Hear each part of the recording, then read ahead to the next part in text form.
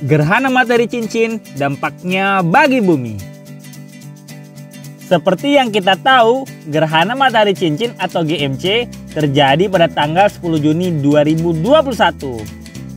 GMC terjadi bila posisi matahari, bulan, dan bumi berada tepat segaris.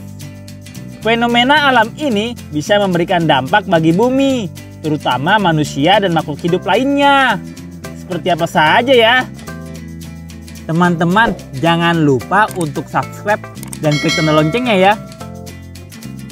GMC akan melintasi bagian utara bumi, jadi dapat disaksikan di beberapa wilayah di Kanada dan Rusia. Fenomena ini akan berlangsung sekitar 100 menit. Sayangnya GMC kali ini tidak bisa disaksikan dari Indonesia. Beberapa dampak dari fenomena GMC terhadap bumi antara lain Pertama, air pasang laut. GMC menyebabkan gravitasi bulan dan matahari terjadi maksimal sehingga berpengaruh terhadap air pasang laut. Walau begitu, air pasang laut di setiap wilayah akibat GMC tergantung dari kondisi topografis pantainya. Kedua, mengganggu fungsi penglihatan.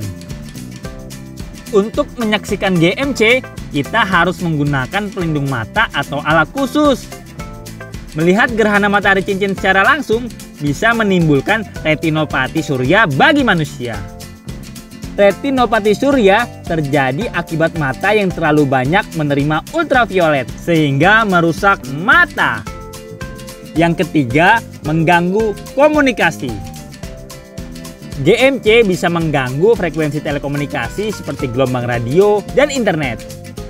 Itu karena saat terjadinya GMC, intensitas cahaya ke bumi berkurang. Jadi GMC ikut mempengaruhi lapisan ionosfer bumi untuk beberapa saat. Lapisan atmosfer itu berfungsi untuk mempercepat frekuensi komunikasi. Ketika ada gerhana matahari, maka terjadi penurunan ionisasi pada lapisan itu. Keempat, membuat hewan bingung. GMC juga memberi dampak bagi hewan liar.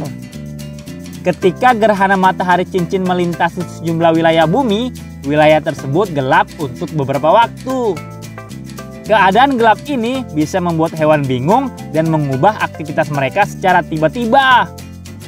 Ada hewan yang kembali ke sarangnya karena langit berubah menjadi gelap. Itu tadi beberapa dampak gerhana matahari cincin. Teman-teman bisa share informasi ini ke teman-teman lainnya ya. Dadah!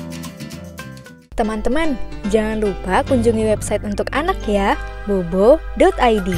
Like, comment, share, dan subscribe juga ke channel Bobo yuk!